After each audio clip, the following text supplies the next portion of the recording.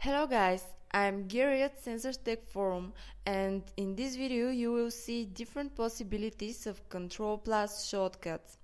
Watch our series of useful shortcuts that will significantly reduce the time to perform various actions on your PC. Let's start with the first Control Plus shortcut. Combine Control Shift and N and create a new folder.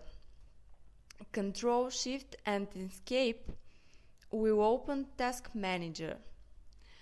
Now let's open one document and see how you can save time while working on it with the following shortcuts.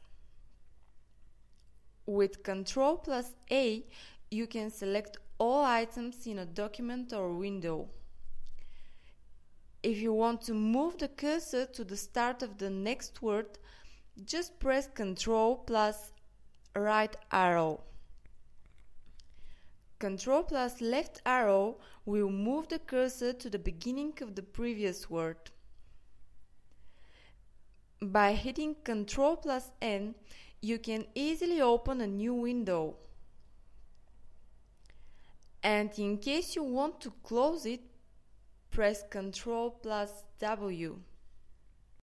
Meanwhile, if you need to open the Start menu, use Ctrl plus Escape.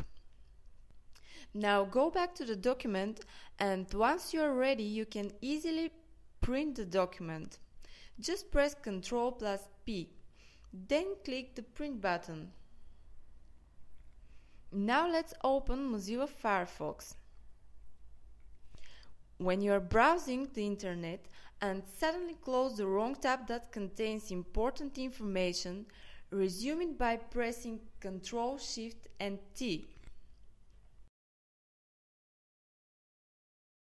Control plus Tab is another cool browser shortcut that helps you to move forward through different tabs.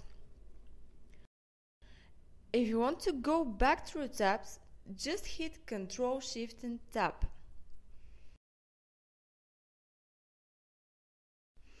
We hope the tips in this video are useful and will help you for your better computer work. Subscribe to our channel and watch our next video about the opportunities of Windows Key Plus shortcuts. Thank you for watching guys.